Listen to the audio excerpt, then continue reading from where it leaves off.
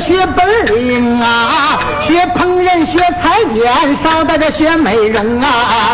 艾特，你学烹饪，学它有啥用啊？然后一会儿嗨嗨嗨呀！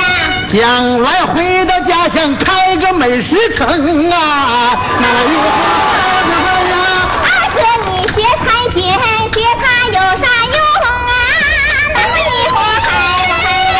将来把咱家乡变成服装城啊，那一个好啊。二哥，你学美容，学它有啥用啊？等会一会儿嗨嗨嗨呀！将来回到家乡开个美容美发厅啊，美容先用洗面奶，洗发先用洗发精啊，婚礼盘头上大卷儿，连洗带烫带吹风，割眼皮儿垫鼻梁，纹眼线他们挖酒坑啊，给咱村男男女女老老少少全都美容，个个高兴，一定变年轻啊！哎嘿呀！我国的民间艺术丰富多彩，东北的二人转就是扎根于东北黑土地上鲜活有趣的艺术形式。只要小唢呐一吹，只要二人转的调子一上来，喜爱二人转的关东男女们就会变得生机勃勃。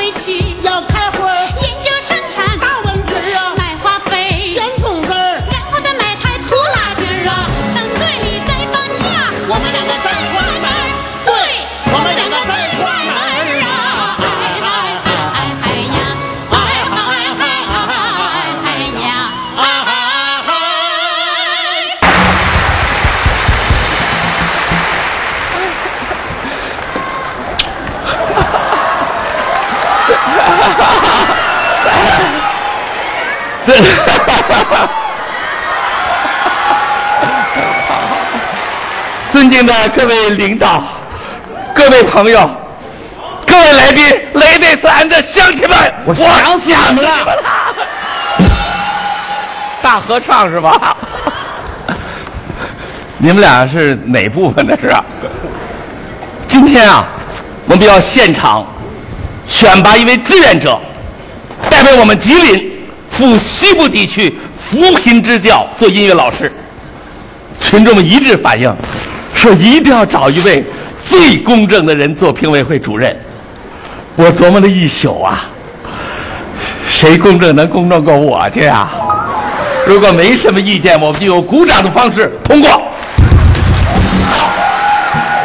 呃，下面我们就跟乐队先排练一下。哟呵，划了这个的来了啊，哟，扒了这个的也来了。锯这个的呢？您问锯这个的，那这哥们呢？一听说您当评委啊，啊，他骂着街就走了。这个任务就由我完成吧。走着。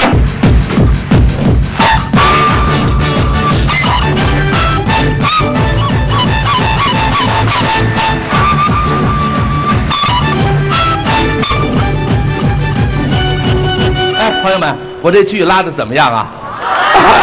能不好吗？我爸就是木匠。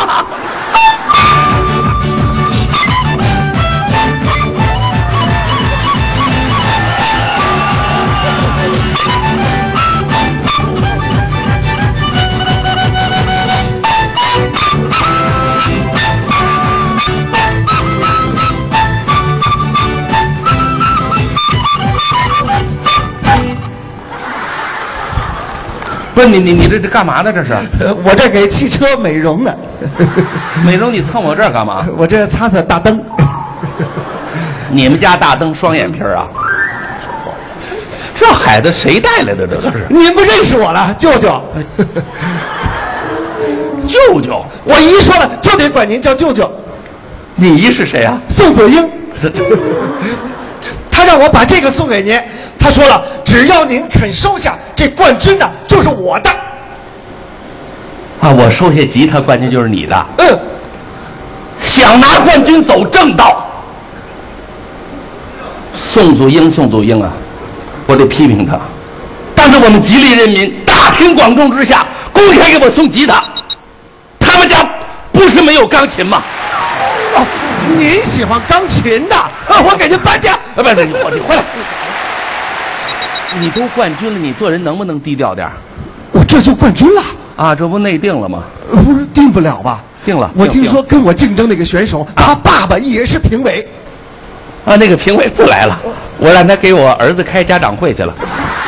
那不一会儿就回来呀、就我儿子那表现，他能回来吗？我现在就把那选手叫上来，我们走个形式，走着。好，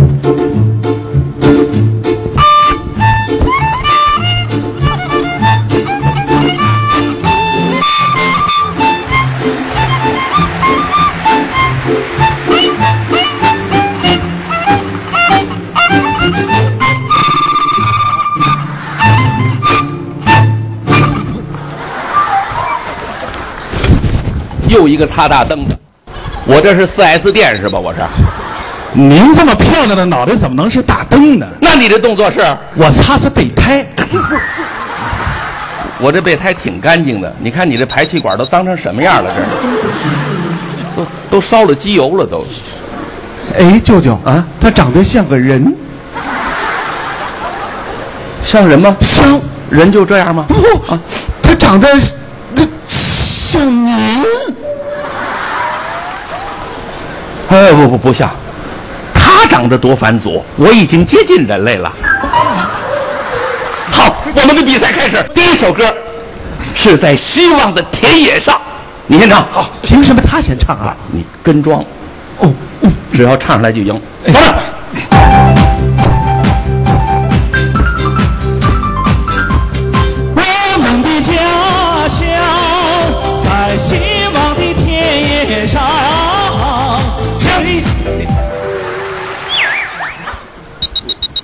照葫芦画瓢没问题吧？没问题，我还照着壁虎画过鳄鱼呢。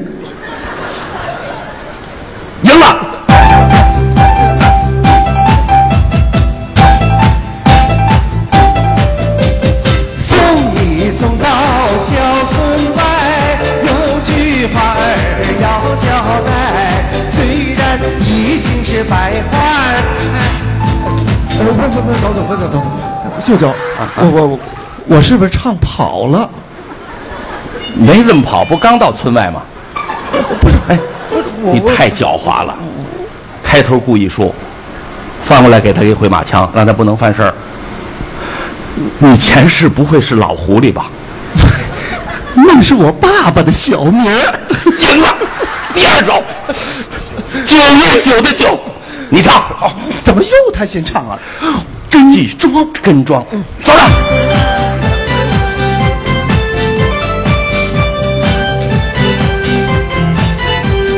又是九月九，重阳夜，难聚首，思乡的人儿漂流在外头啊。要走要。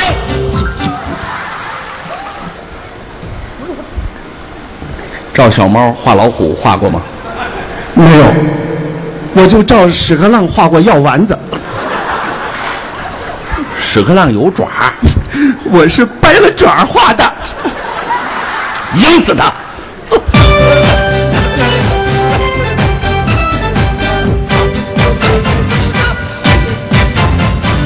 又是九月九啊，天上的星星参北斗啊，嘿嘿参北斗啊，嘿嘿参北斗啊。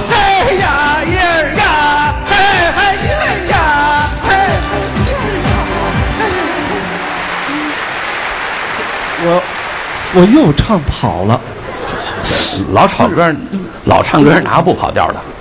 老搓麻哪不点炮的？你虽然跑了调，但咱没点炮。我点了，没点，好像是他们帮我点的你歌词儿唱错了。词儿。又是九月九，重阳夜难聚首，思乡的人啊漂流在外头，没有一儿压什么事儿？我唱一二压了吗一？二半天一二压了，我再唱一遍，不能一二压。我绝不一二压，你要再一二压，我就一二压。走着。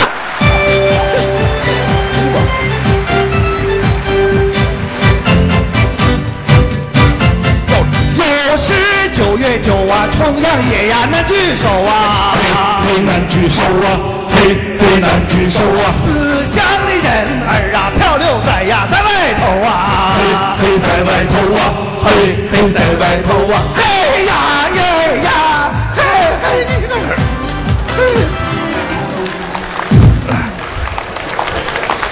我我又跑了，不光您跑了，把乐队都拐着跑了。是乐队把我给带跑的，这么会儿带跑我好几回了。没关系，下一首歌二重唱。我不唱，不是不是，一唱就赢我。赢不了，有我呢，有你我才赢不了，没你我早赢了。我现在明白了，您就是个潜伏。我是你舅舅，我公开的身份是你亲舅舅，真实身份呢？我的，我的保底，我保你二重唱，赢死他。打死我也不唱，我唱这二重唱啊，我就不跟他唱。我现场选一位观众跟我一起唱，我就不信我还唱跑了。走着，大家给我支持，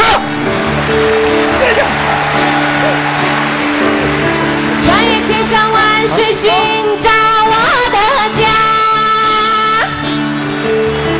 遥远天边飞来飞来一朵水上花，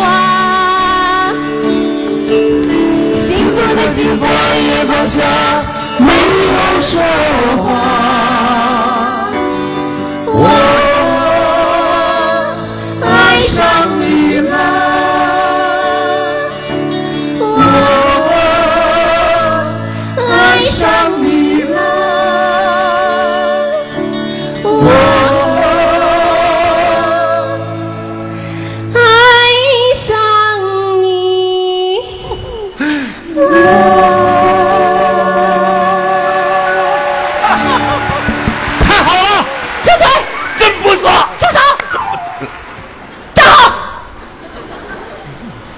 你们这么欺负人的吗？啊！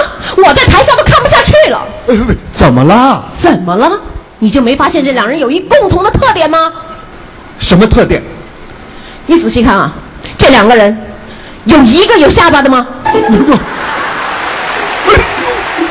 对呀，整个俩铁梨花里面那个色子叔叔，你怎么没下巴呢？您没有我能有吗？你这，我虽然先天给你不足，你后天得努力啊。我努力了，越努越没有啊！你好啊，原来你们是亲爷俩。完喽，天塌了，露馅了，让人抓住小辫了，吹灯了，拔蜡了，知道我是你爸了，傻爆了，爆料了，如今您是黑哨了。现眼了，丢人了，咱家出了下巴门了。孩子，别怪爹心狠啊看来志愿者只能从他们二位产生了。嗨，你们二位谁去啊？不不，他去他这呃让他去，我无怨无悔。不不不不，让他去，让他去，我绝无意见。好你去，你去，你去，你去，你去，就这么定了。那个爸爸，哎，他说了让我去。爸爸，你等会儿，难道他是你女儿？瞎说，人家有下巴，那她是儿媳妇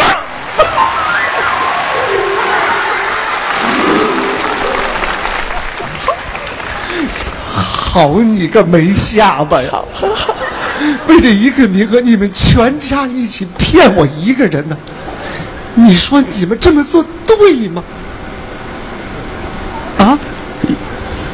有有点对，对什么对啊？不是你兜里的诊断证明不都说清楚了吗？你从小有哮喘病，根本就不适合在高原工作。